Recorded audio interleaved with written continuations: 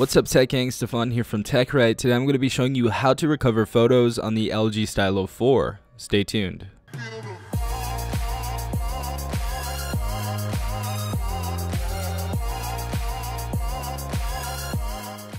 Alright guys, so I had a lot of questions about people losing their photos, deleting their photos, and not knowing how to actually recover them. Uh, so I'm going to show you how to recover photos, uh, just in case you delete them on accident. Maybe they're important pictures from your kid's birthday or family photos or different stuff like that, and you really want them back, but you deleted them on accident. Uh, this is how you're going to be able to recover them. So for example, we're going to take a photo right now. So let's take a front-facing photo right here of me.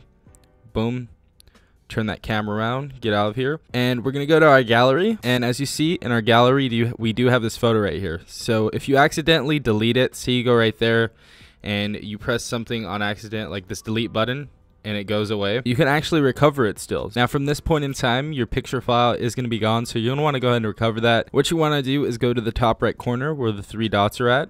We're going to click on trash. So as you guys see, we're inside of here and you can actually restore your photo. You can either delete it permanently or restore the photo, whatever you guys want to do. But yeah, the albums and files will be permanently deleted after being in the trash for seven days. So do remember that if you delete a photo from LG Stylo 4, you have up to seven days to go ahead and restore it.